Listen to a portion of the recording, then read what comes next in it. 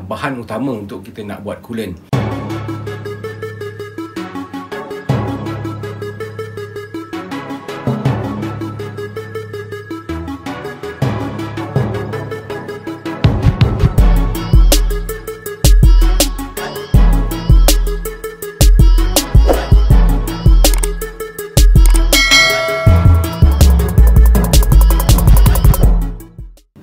Assalamualaikum warahmatullahi wabarakatuh dan salam sejahtera kepada anda. So bertemu lagi kita di dalam segmen Anda Tanya RBM Jawab yang akan menjawab persoalan anda berkaitan dengan sistem radiator kereta ini. Kepada anda yang mungkin baru pertama kali menonton uh, video-video daripada channel RBM Radiator TV ini, so jangan lupa tolong RBM untuk tekankan button subscribe tu dan onkan bell notification supaya anda tidak akan terlepas uh, segala apa jua video-video terbaru ataupun update-update terbaru yang RBM akan bawakan kepada anda di masa-masa akan datang.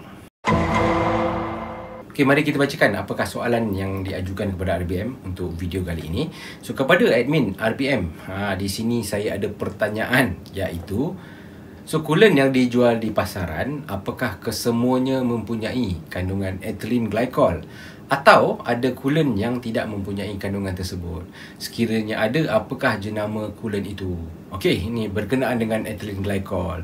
Apa yang mungkin RBM boleh jawab ataupun berkongsi dengan anda, sebenarnya uh, ethylene glycol ni adalah bahan utama untuk kita nak buat coolant. Okey, ha, sebab itu semua coolant yang berada di pasaran ada yang dinamakan ethylene glycol ni. So tak ada coolant yang tak ada ethylene glycol. Okey, sebab uh, fungsi ethylene glycol salah satu dia tadi uh, adalah untuk nak melambatkan boiling point air di dalam sistem radiator kereta kita. Itulah sebabnya gunanya ethylene glycol tu. Kalau tak ada ethylene glycol tu, macam mana kita nak melambatkan takat didih air di dalam sistem radiator kereta kita. Itulah sebenarnya yang dinamakan coolant tu kita perlu campurkan dengan air. Ha, sebab di dalam coolant tu dia adalah salah satu kandungan ataupun bahan dia adalah ethylene glycol yang boleh melambatkan takat didih air. Takat didih air 100 darjah Celsius kita boleh lambatkan lagi. Kita boleh pergi kepada 130 ha, darjah Celsius. Ha, boiling point air di dalam sistem radiator kereta kita. So kepada anda yang mungkin ha, mungkin nak tahu sekiranya ada apa jenama coolant tu, kalau coolant yang tak ada ethylene glycol tu dia tak panggil coolant. Itu dipanggil air biasa. Okey, ha, mungkin ada.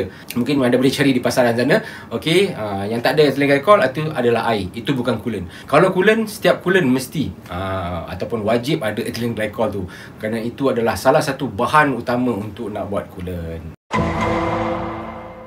Mungkin setakat di sini saja perkongsian RBM untuk video kali ini. So jika anda rasa uh, segala video daripada RBM Radiator TV channel ini dapat membantu anda ataupun dapat memberi manfaat kepada anda, so anda jangan lupa tolong RBM tekankan button like dan button share tu supaya anda boleh sharekan kepada lebih ramai lagi pemilik-pemilik kereta yang berada di luar sana supaya mereka juga mendapat segala informasi dan juga maklumat yang lebih tepat lagi tentang sistem radiator kereta ini. Sampai kita berjumpa lagi di masa-masa akan datang. Masalah radiator, tanya RBM.